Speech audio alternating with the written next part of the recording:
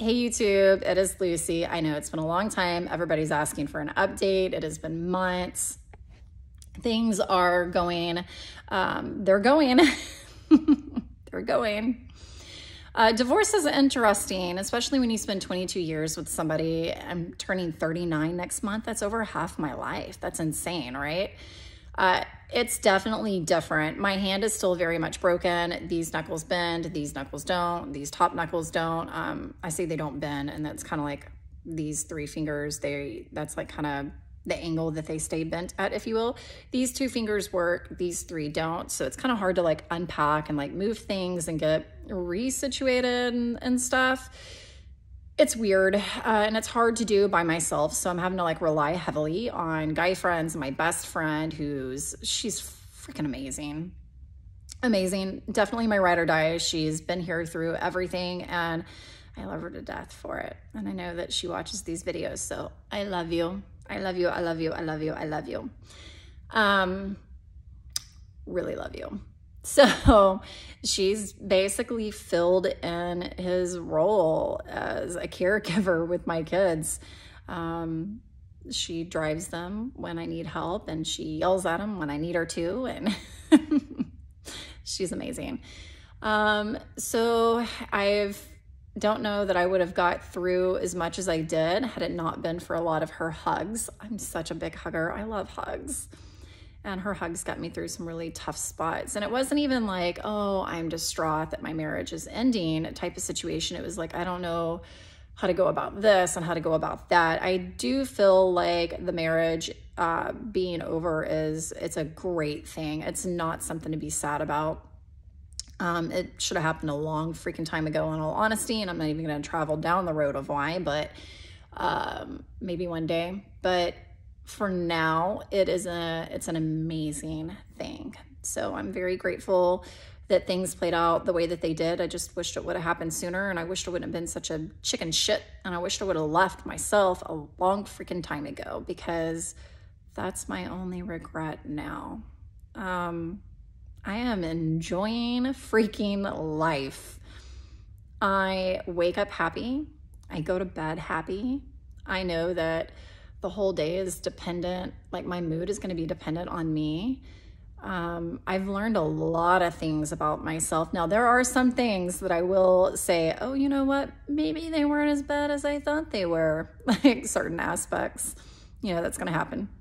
Um, there, like, I'm pretty self aware of like my own, like my trauma in my life, but there were definitely some new things that I was like, oh, whoa did not know I had that trauma, did not know I was disassociating, did not know that like my BFF or like friends or um, a guy would point out and I'm like, oh, wow, like I thought I was really self-aware, but like, holy crap, you're right.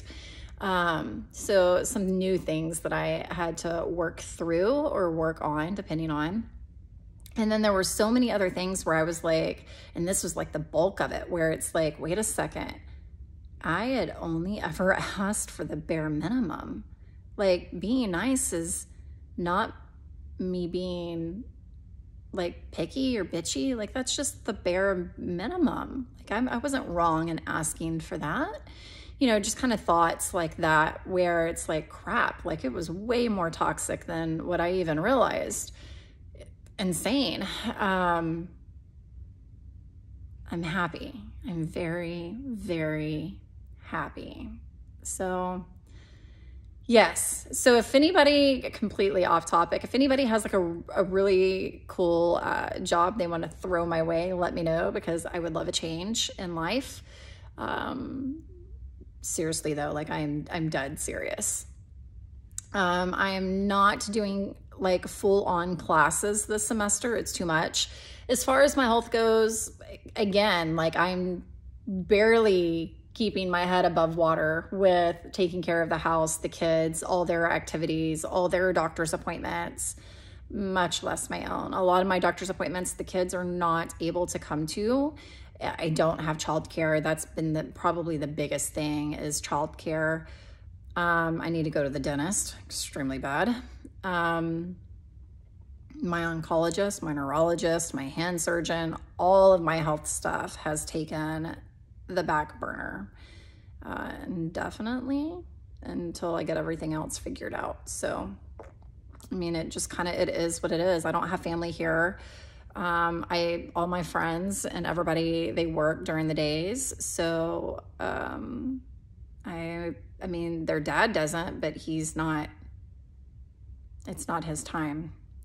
So, um, he has them on the weekend. Um, we're not co-parenting very well because he doesn't want to communicate. So, I mean, I can communicate till I'm blue in the face, which is what I did for 22 years. And I was met with a brick wall, which is what I'm still being met with. So hopefully, uh, as time goes on, that will change and the co-parenting will become better. But for now, he has them when he has them. And when he doesn't, they kind of just don't exist. Um, I mean, it is what it is.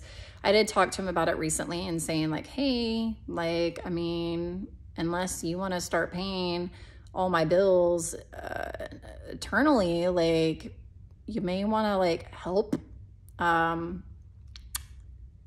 like, I don't know, like bring a child to a doctor's appointment because I can't, I mean, it's eight kids. It's a lot. Like I cannot not work every single day because I'm bringing them to doctor's appointments. And I know people are like, oh, it's a dentist, it's an ortho, it's PCP. Like it can't be that frequent, that da da da.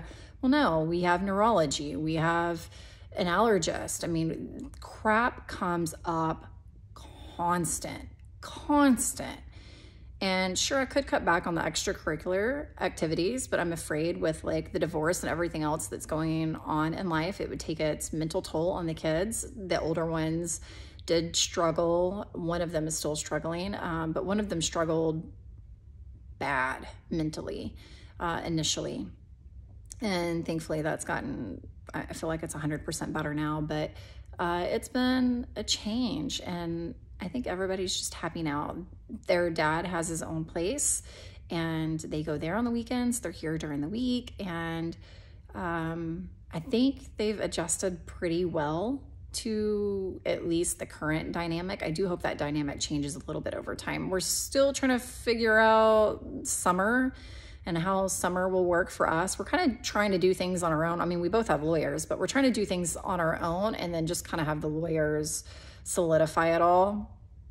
But um, we just had an ice storm and they were here with me all week and it was so entertaining.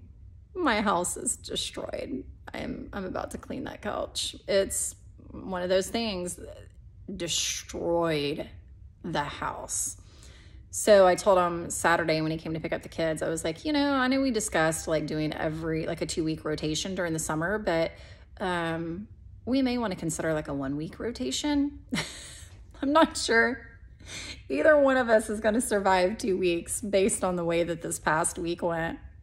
I mean, they were having a blast, but like, Jesus, my house is destroyed. And granted, that's so easily done right now because it's not put together to begin with. Like, there's crap everywhere because I can't finish doing it by myself. So, it's fun. It's fun. And his house doesn't have toys and stuff in it. And I need to get rid of all our toys because we are never home.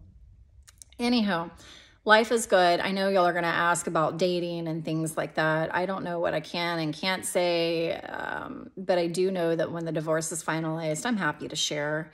I don't care. Um, y'all know I'm pretty much an open book. So um, until then, I mean, life is what it is. And I think my ex is happier. I'm happier. The kids are happier. So it seems to just be a big blessing in disguise. My only regret is that it didn't happen sooner. I mean, truly, I wake up happy. I go to bed happy. My mood is dependent on myself. and I love that. Um, I love that. And I've got some pretty cool people in my life. I've met some amazing people along the way.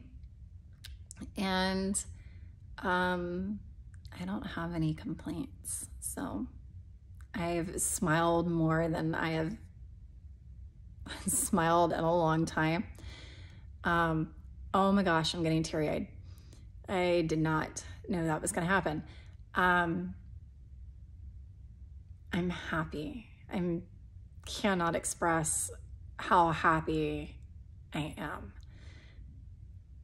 to the point that it apparently makes me emotional. So I'm happy. I've smiled. My cheeks hurt. I laugh more than I ever have. Um, I'm enjoying what life brings me and all the lessons that I learn along the way. So I will talk to y'all soon. There's your update. Bye, all.